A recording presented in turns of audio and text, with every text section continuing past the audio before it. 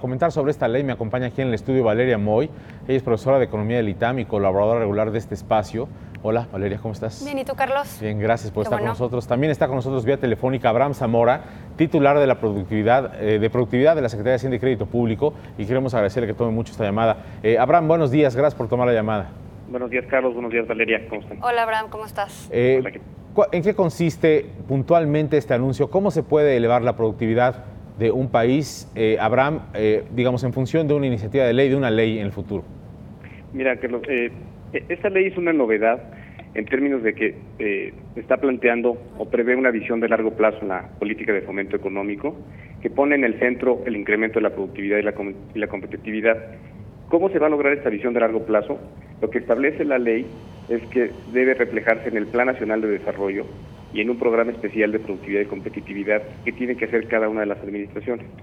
Ahora, también lo que, lo que hace es que se busca que, que en la parte regional que se aprovechen las capacidades y vocaciones productivas que tienen las regiones, especialmente aquellas más rezagadas.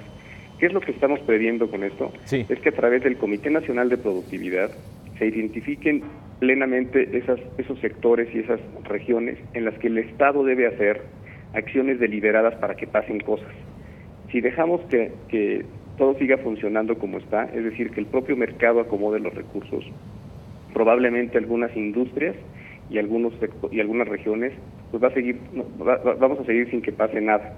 Lo que se pretende a través de esta ley es que existe un mecanismo de, de coordinación y de concertación sí. por la cual estemos procurando que, que, pasen cosas en ciertas industrias, que se escoja que de manera deliberada tenemos potencial para que, para que se hagan, se hagan cosas. Bien, eh, va, va, Valeria. Oye, Abraham, estamos sí, completamente de acuerdo en este tema de que hay que mejorar la productividad, de que el país no va a crecer, no hay manera de que crezca, inclusive con todas las reformas y la productividad no mejora. Sin embargo, ¿cómo tiene que ser esta ley? ¿Qué tiene que haber en esta ley para que no se quede solo en buenas intenciones? Porque la idea es muy buena, pero ¿cómo se traduce esto a la práctica? ¿Cómo lo van a vivir las empresas? Mira, lo que, lo que estamos previendo es el, digamos, el instrumento fundamental que mencionaba yo, que es el programa. El, el, otro es el Comité Nacional de Productividad.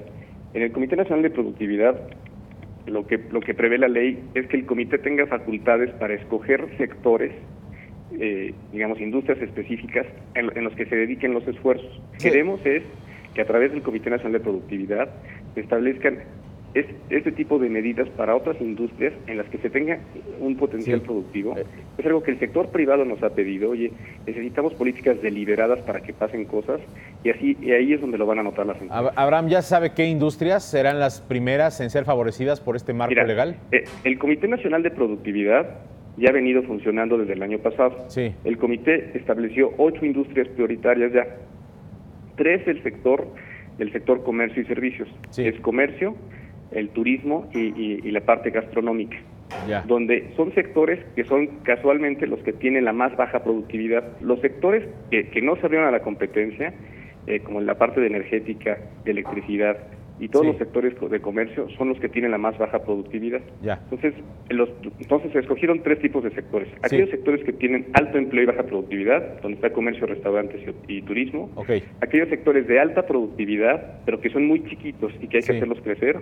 Ahí está la parte agroindustrial, la parte de autopartes, Ya. está aeroespacial eh, y hay también otros sectores que los llamamos donde hay oportunidades derivadas de reforma, como es la parte energética y telecomunicaciones. Eh, Valeria, tu evaluación de esto. Bueno, a mí me parece eh, una buena idea y una buena noticia que el gobierno tenga muy claro que la productividad es un problema. Es una visión de 20 años, no es trivial, que eso me parece una buena noticia de esta administración. Lo que estamos viendo es que empiezan a, a implementar políticas de largo plazo que van a pasar el sexenio. Y eso me parece una cosa importantísima, sobre todo en un tema industrial del país. ¿no? no se puede quedar en buenas intenciones porque entonces solo vamos a tener otra ley. ¿no? Ahorita leyendo los puntos claves que se van a, a tocar en la ley es tomar las medidas necesarias para fomentar la productividad.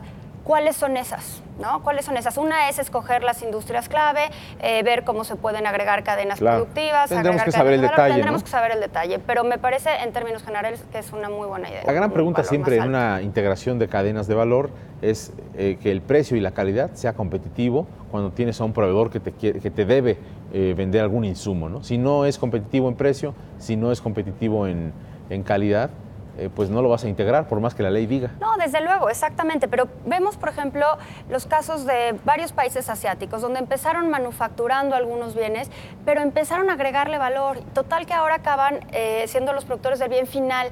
En México todavía no damos ese paso.